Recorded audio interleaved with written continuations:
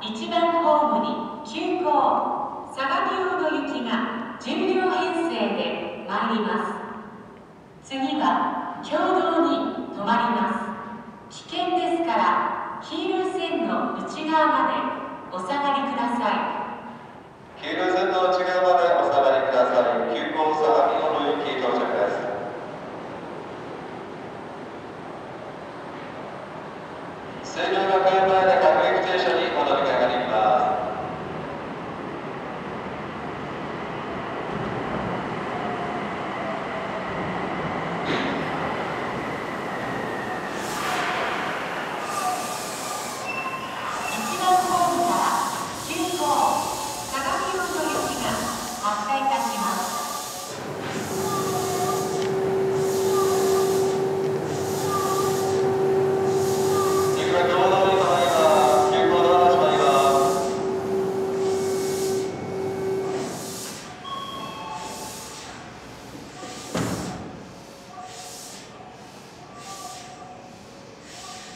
お待たせいたしました。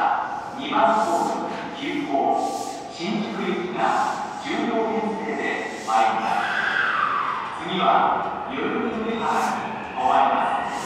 危険物から黄色い鉄